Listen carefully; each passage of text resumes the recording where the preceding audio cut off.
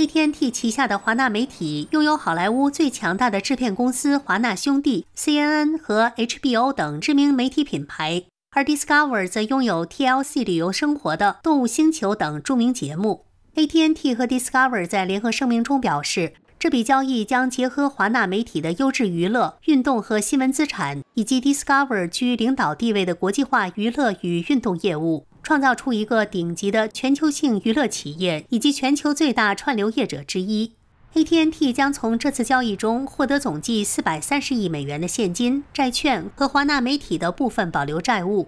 AT&T 股东将获取新公司71%的股权，剩余29%的股权归属 Discover 股东。合并后的新公司将由 Discover 总裁兼执行长扎斯拉夫领导。新公司的名字将在下周揭晓。